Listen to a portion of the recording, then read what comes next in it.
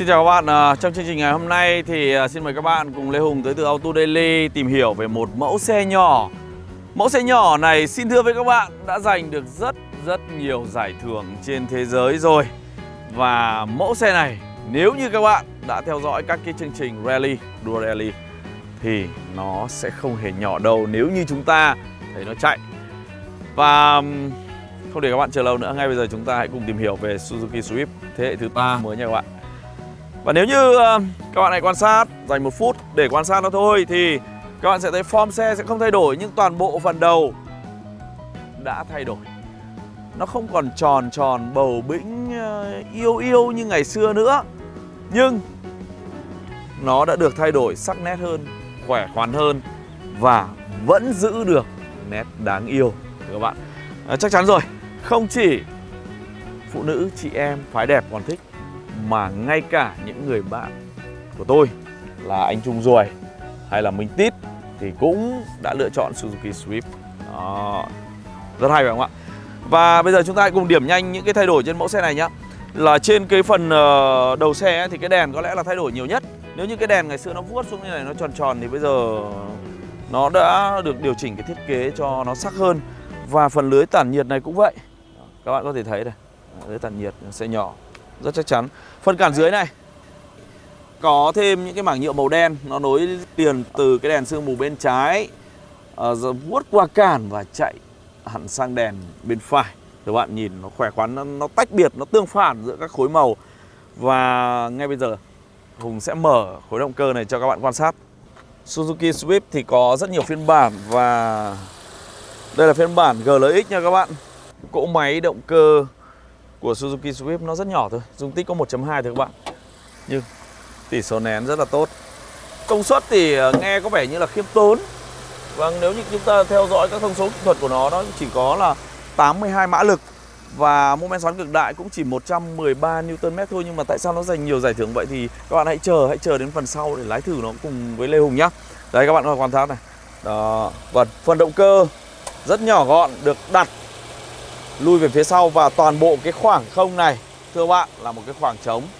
Ở đây là cái thiết kế an toàn, không chỉ cho người lái mà cho cả chính người đi bộ nữa. Nếu như nhỡ trường hợp nào đó, rủi ro nào đó đâm vào đâu đó, bùm, như thế này, thì nó sẽ giảm chấn cho chính những người đi bộ, thưa các bạn. Đây chính là phần giảm chấn.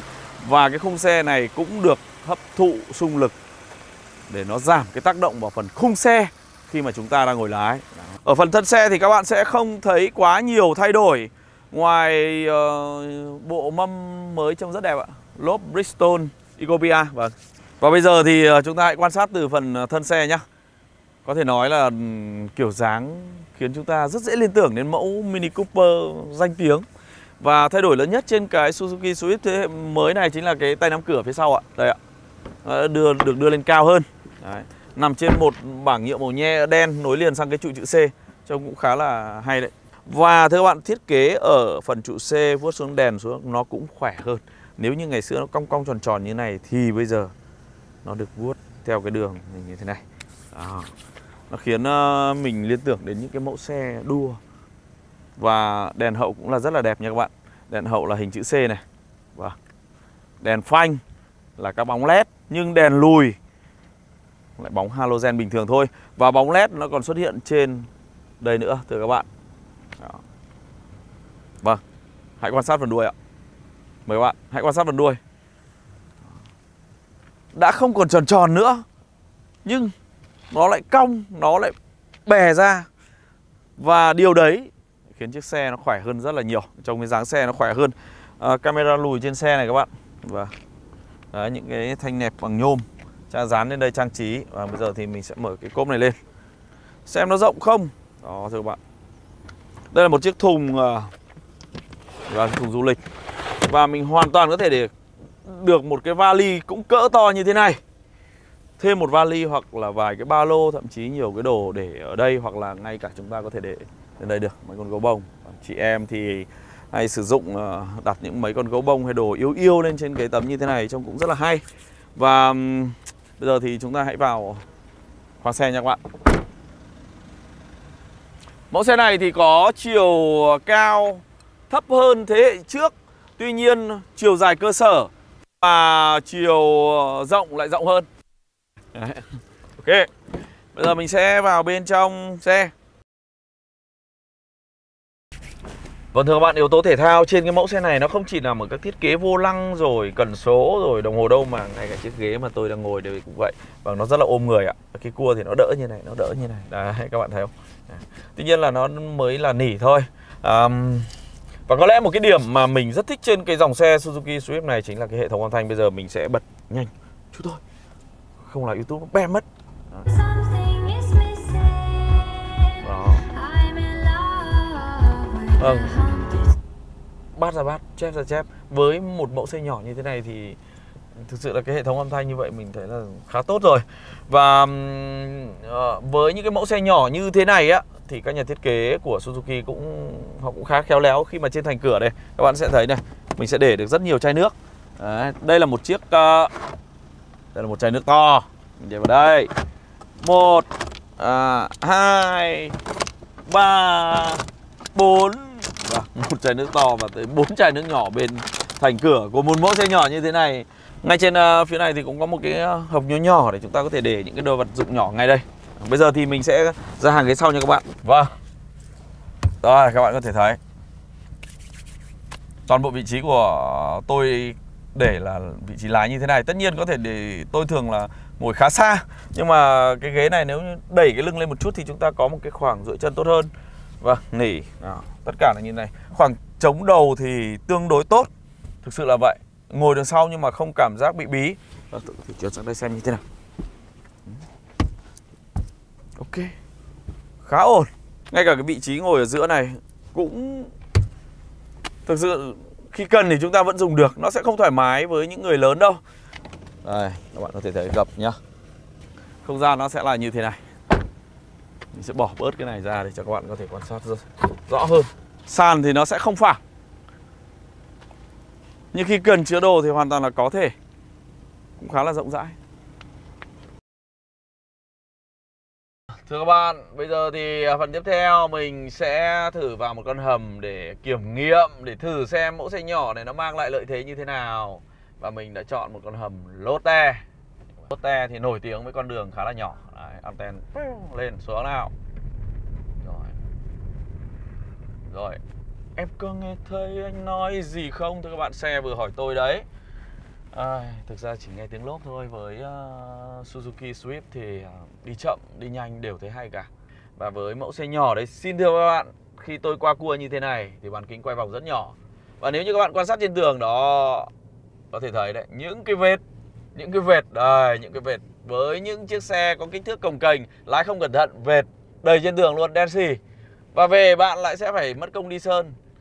Thì đối với Suzuki Swift, kích thước rất nhỏ gọn, chị em lái, mới lái, người mới lái, quá dễ luôn. Giữ những cái con hầm như thế này quả là một thử thách. Đèn xe thì sáng rồi, không gian rộng rãi. Mình cũng đã chia sẻ rồi. Bảo vệ chỉ đường, mình sẽ xuống tới tận B4 xem xuống tới đáy hầm xem như thế nào.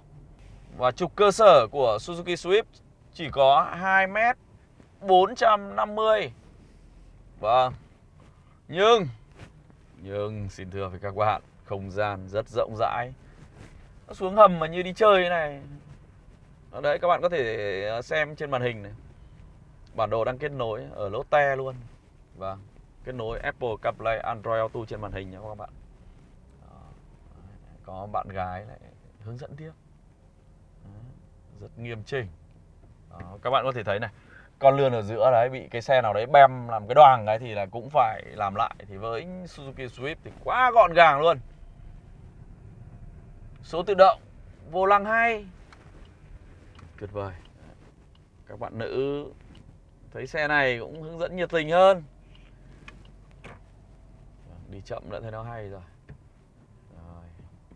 à, nếu như được cho phép thì mình phải làm vài vòng chạy tốc độ phũ hơn trong này thì thật là tuyệt vời phải không? Ok, bây giờ mình sẽ tiếp tục luồn lách trong phố nha các bạn. Rồi, sau khi đi mua sắm thì mình lại đi ăn trưa. Vâng. bây giờ hơi đói rồi, mình sẽ đi ăn trưa. Thực ra với những cái ờ, mẫu xe nhỏ như thế này thì cái việc mà tìm một cái điểm ăn trưa ngon ở phố cổ, ở những cái phố chật hẹp thì cũng rất đơn giản các bạn. Nếu như mà tôi đi một chiếc xe cồng cành thì vào nguyên cái điểm đỗ đã bị từ chối rồi. Và đấy, các bạn rất thoải mái. Đó các bạn có thể thấy hai bên là đường xe đầy ra toàn xe nhỏ nhá. Nhưng mà Suzuki Swift thì sẽ nổi trội hơn rất là nhiều. Đẹp!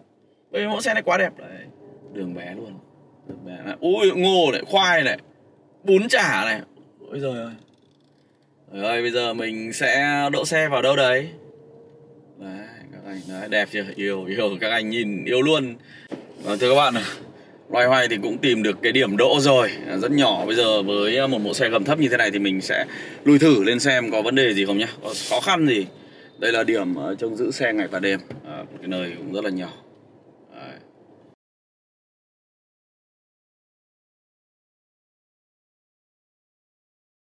Đấy. mượt. Thực sự lái mượt. Số mượt chuyển động cũng mượt. Nhẹ nhàng. Vâng thưa các bạn nào. Các bạn có thấy hùng đang cầm chiếc vô lăng giống như một tay đua F1 sắp về Việt Nam không ạ? Đấy, hoành tráng không? Thì bản chất cái ờ, Suzuki Swift này nó cũng hướng tới cái yếu tố thể thao rất là nhiều. Và cái tiêu chí của xe này mình nghĩ rằng nó không chỉ thiết kế dành riêng cho đô thị đâu mà riêng bạn chạy trên đường cao tốc như thế này thì cũng rất sướng. Đó mà ở đây mình mới để ở cần số ở chế độ D mà thôi Vâng, hộp số CVT vô cấp. Nhưng nếu khi cần mình hoàn toàn có thể chuyển sang Sport. Và bây giờ thì mình sẽ chuyển thử luôn. Bấm ngay trên vô lăng này. Đấy. Vòng tua cùng một mức chân ga nhưng vòng tua lên 3.000 hơn ngay. Và đạp thì sao? Độ trễ giảm đi rất nhiều. Tất nhiên khi đấy tiếng động cơ Tiếng hộp số CVT thì nó cũng sẽ to hơn. Và các bạn có thể thấy duy trì vòng tua 4.000 luôn. Thưa bạn nếu như các bạn đã xem những cái giải đua rally Giải đua khốc liệt Thì Suzuki Swift rất ấn tượng nha các bạn. Một mẫu xe nhỏ nhưng có thể bay đi, bay lên, bay xuống phi như một tiên bắn. Ôi Thực sự là cái cảm giác bây giờ là như cầm lái những chiếc xe để thực hiện những cái Italian job thưa các bạn. Đấy, đấy 100 km trên giờ. Vâng, 100 km trên giờ. Vòng tua máy của một mẫu xe nhỏ như thế này 100 km trên giờ thưa các bạn 1.800 Rồi. Động cơ thì 1.2 Công suất 82 mã lực Rất khiêm tốn. Và mô men xoắn cực đại cũng chỉ 113 Nm thôi. Và nếu như các bạn đã xem những cái chương trình mà Hùng đã trải nghiệm những cái mẫu xe có 1.4 gì đó Thì ờ, 100 km trên giờ thưa các bạn. Trên 2 ngàn 2 rưỡi, 2 ngàn 8 Wow! Vâng, Suzuki Swift Động cơ 1.2 chạy 100 km trên giờ Ở chế độ D. Vòng tua máy 1008 Tất nhiên chế độ S thì kim chổng ngược lên luôn, Đạp đến đâu biết đến đấy. Bây giờ mình sẽ để pa Đứng người lên nào đi. Tua 5 ngàn 6 ngàn. CVT Động cơ nghe khá rõ. Và bao nhiêu đây? Vâng.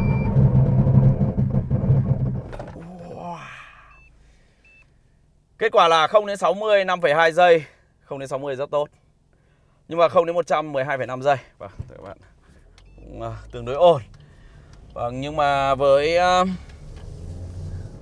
Mẫu xe này à, Chưa có ESP Nhưng mình vẫn thử Chạy dích rắc Xem độ gắn kết của xe với mặt đường như thế nào. Mình sẽ chạy dích rắc Thuật ngữ chuyên ngành gọi là slalom. Ờ, à, chạy trên cao tốc thì cũng thấy chuyển làn mọi thứ rất ok rồi nhưng mà bây giờ mình sẽ muốn thử thêm. Ờ, nào.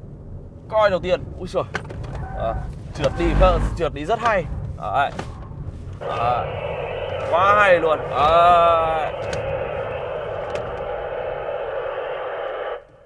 bóng cả bộ đàm lên.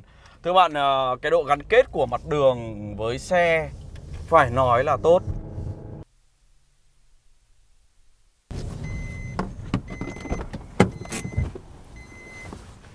Vâng thưa các bạn, tuyệt vời không? Phải không ạ? Với một mẫu xe nhỏ tôi có thể tiến quay đầu giữa đường, lùi quay đầu giữa đường rất là nhanh. Và đó chính là những cái ưu thế về vận hành của Suzuki Swift. Vâng thưa các bạn, à, với Suzuki Swift thì nó không chỉ đẹp. Vâng chắc chắn rồi, nó đẹp. Có lẽ nó là một mẫu xe gây cho Hùng ấn tượng nhiều nhất Và nó còn tiết kiệm nhiên liệu khi đi trong phố. Nhưng nó có thể khiến cho bạn rất phấn khích sau vô lăng. Và các bạn nếu như ai đó đã sử dụng dòng xe này rất nhiều năm rồi. Xin vui lòng hãy chia sẻ thêm thông tin bên dưới clip với chúng tôi. Còn bây giờ thì ờ, xin chào và hẹn gặp lại cho các bạn trong những chương trình tiếp theo.